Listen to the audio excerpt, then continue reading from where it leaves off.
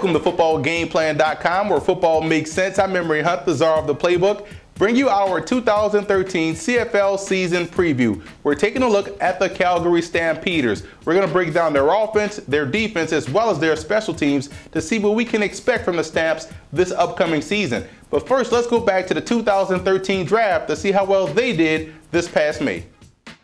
Stamps made seven selections in this year's draft, and they wanted to have some guys that could help their football team out in 2013 and also put some guys in a pipeline for 2014. So you look at Brander Craighead, 6'6", 280 out of UTEP. He's a 2014 guy and one of the best tackle prospects in the draft. And you look at the rest of the picks they were able to make, guys like Charlie Power, Shane Bergman, Brett Jones, Yannick Moore, and Plant. These guys will help this football team out in some way, shape, or form this season.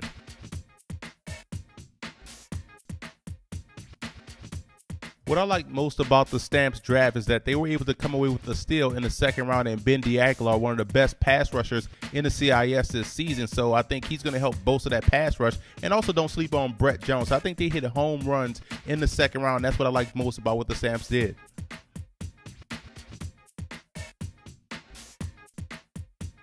What I didn't like about the Stamps draft, I felt as though they missed an opportunity to add some young guys in the secondary to help compete with the free agents they brought in. You want to always have guys that you can develop at your pace, guys that you can mold and make into the player that you want them to be. And I felt as though they missed that opportunity without taking any defensive backs in the draft.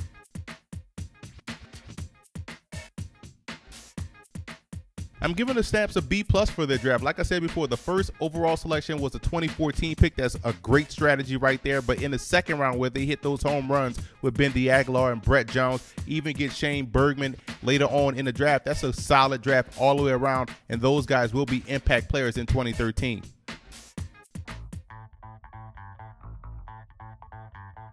Stamps have the luxury of having two quality quarterbacks, and that's the positive way to look at it. The realistic view is that there's a quarterback battle that's taking place in camp and will have an ongoing effect throughout the course of the season. Drew Tate came into the season as a starter. He played well, he got injured. Then the veteran Kevin Glenn came in and also did well and led these guys to the Grey Cup.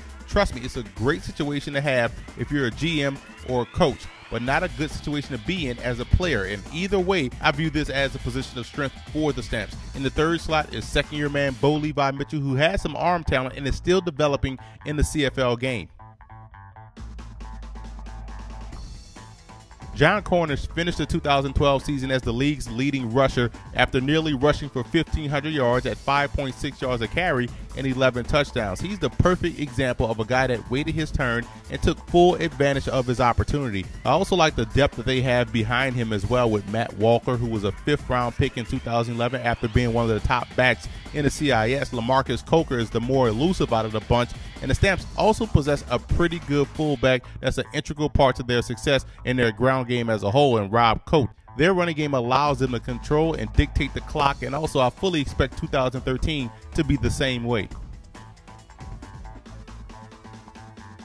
Nik Lewis has been a stud for the Stamps since he joined the team back in 2004 with over 730 career receptions, 10,000 yards, and 85 touchdowns.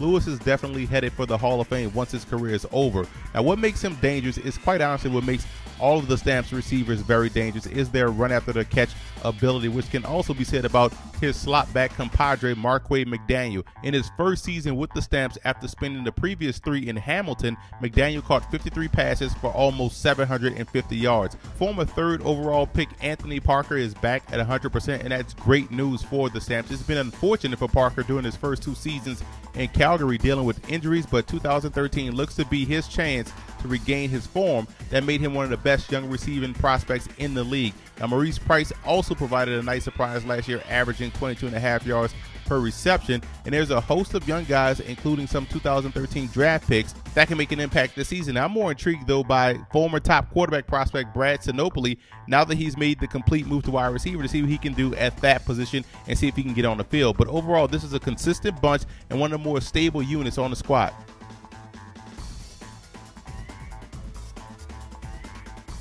Can't have a high powered offense without having a pretty good offensive line. They go hand in hand. And I love what the Stamps were able to do with the interior of their offensive front. They built that line through the draft. You look at first round pick in 2008, Dimitri Tsoumpas, very good guard. Jon Gott starting at center. He was a fifth round pick in 2008 as well. JaMychal Dean, third round selection in 2010, starting at the other guard. So they made some sound selections in the draft, and they have two very good bookends in Stanley Bryant at right tackle and a left tackle who's a superstar in my opinion in Edwin Harrison. Good depth as well behind these guys with Steve Middleton and 2013 draft picks Brett Jones, 6'2", 310 pounds out of Regina, and mammoth tackle Shane Bergman, who's 6'7", 352. So once again, using the draft to build that offensive line, whether it be on the interior or the exterior, the Stamps are set up for long-term success up front.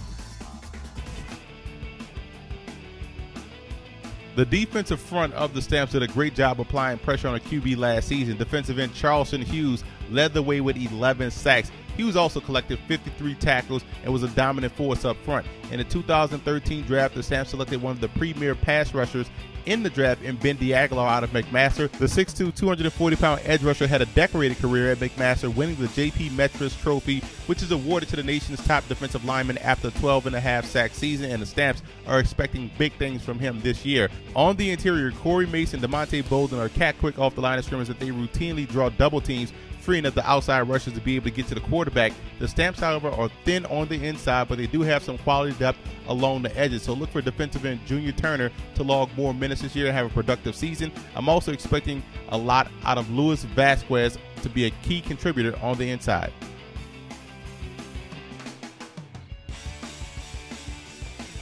I'm a big fan of the Stamps linebacking core. They went after Rod Davis in free agency, bringing in an excellent combo backer Davis is entering his fifth CFL season. They're teaming him up next to Juwan Simpson, who plays like a man possessed. Simpson last year had 82 tackles, two sacks, and I love his instincts that he brings to the table. The six-year vet Keon Raymond mans the other linebacker spot, which is essentially a defensive back. His coverage skills makes it tough for opposing offenses week in, week out.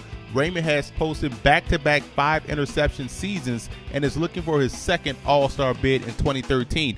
Good depth as well behind these guys with Malik Jackson, who chipped in with 57 tackles, Chris Randall, who is very sound in coverage. So overall, very sound, talented, and athletic group of backers. This year in the secondary, the Stamps were solid but not spectacular. There were plays to be made, but a lot was left on the field. And if they can convert some of those opportunities into interceptions, then this secondary can get back to what we saw a couple of years ago. Back at cornerback is Fred Bennett, who's entering his second CFL season and is looking to build on his 47 tackle, two interception campaign. Another 2012 rookie that played well last year was Darius Brooks. Brooks and Bennett should have even more success this year, in my opinion, after gaining valuable experience and getting acclimated to the CFL game. Brandon Smith is a pretty good halfback that displays the necessary instincts to play back there, along with Quincy Butler, whose progression arrow is shooting up. Former first round pick in 2010, Eric Fraser stepped up into a starting role last year and played exceptionally well, showing great instincts and great range from sideline to sideline. Expect an increased role for second year man Keenan MacDougall as well, who played mostly on special teams but possesses the size at 6'2, 208 pounds that you want back there in the secondary.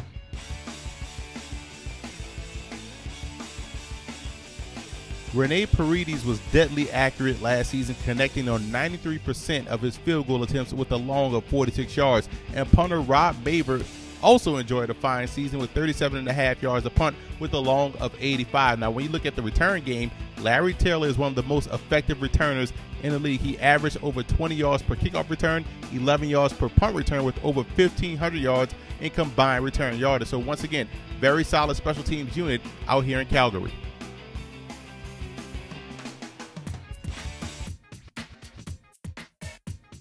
The road back to the Grey Cup for the Stamps goes as follows. Number one, they have to create more turnovers. Get that ball back for that explosive offense, and that's how you can blow teams out. And that leads me to my second point. They got to put teams away.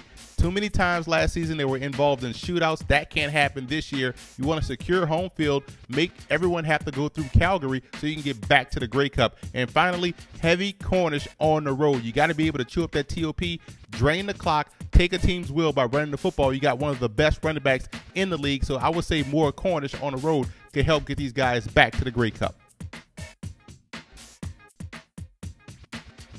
I have the Stamps finishing third in the West Division. Still some minor questions about the secondary and whether or not they can be effective in creating turnovers. But overall, very explosive offense, very good running game.